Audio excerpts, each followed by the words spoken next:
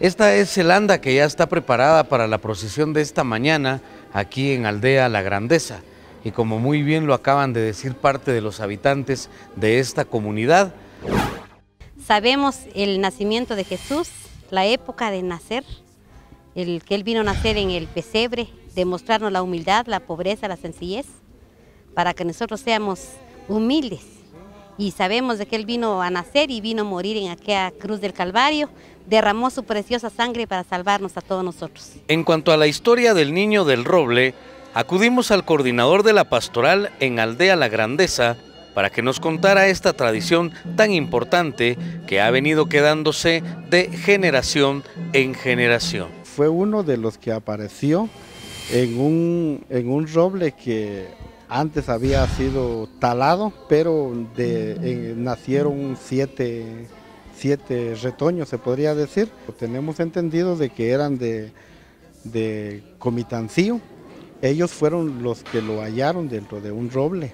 Y cada vez de que ellos se iban para Comitancillo, ellos dentro de un, dentro de un maletín, se podría decir, se llevaban al niño.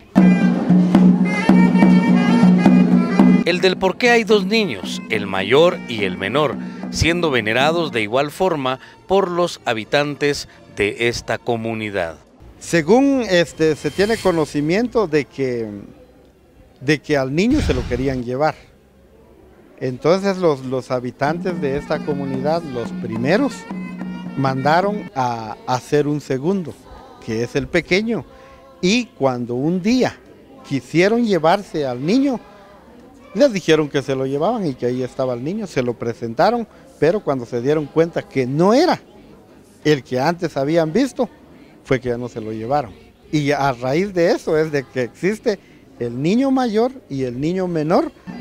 El menor es quien sale a la procesión, que específicamente el día de hoy, ya entre breves momentos, va a salir a la procesión. Y el mayor es el que permanece todos los días aquí en la iglesia aunque Jesús nazca mil veces, pero si no nace en nuestro corazón, en vano habrá nacido. Se lleva el patrono de nuestra comunidad, el niño Dios, a la casa del cofrado, para así estar esperando entonces la noche del 24 la nacida. Entonces esto es una costumbre que viene desde hace muchos años, desde cuando el niño pues fue aparecido acá en esta comunidad. Bueno, y es así, este, estimados amigos televidentes de Canal 4, como hemos llevado hasta sus respectivos hogares todo lo que va a suceder en este día tan importante para todos los habitantes de la comunidad Aldea La Grandeza. Con imágenes de Eduardo Navarro reporta para 4 News Enrique de León.